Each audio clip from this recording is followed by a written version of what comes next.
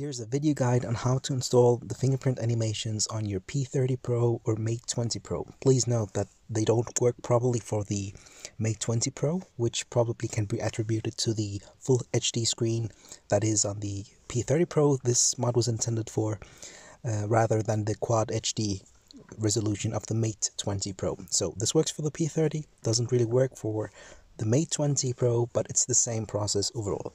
What you need you need to have downloaded the MT Manager. Um, you can find that on Google, and you need to download the files um, from the XDA thread. Um, and what you do then is uh, you need to have a um, a theme installed. Um, you can find the themes from Google. For this particular one, I use uh, the P30 Pro Amber Sunrise theme, which I've downloaded and installed into uh, the folder called Huawei and Themes, which I'll show you right now. Um, so you go into the MT Manager and go into uh, Huawei themes, and then you can see I have the Amber Sunrise uh, theme there. So what you do then is go back here. You find the mega file and go into mega downloads, Huawei fingerprint effects, and then you choose the one that you would like to ap apply to your phone. Um, you rename it com Huawei.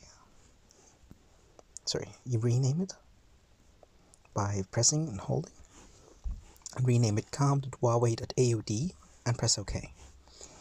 Once you have that com.huawei.aud file, you go into the, the, the, the theme that you're going to um, move this into you just tap on it once and then you go to your right hand side and you long press the com Huawei AUD and press add.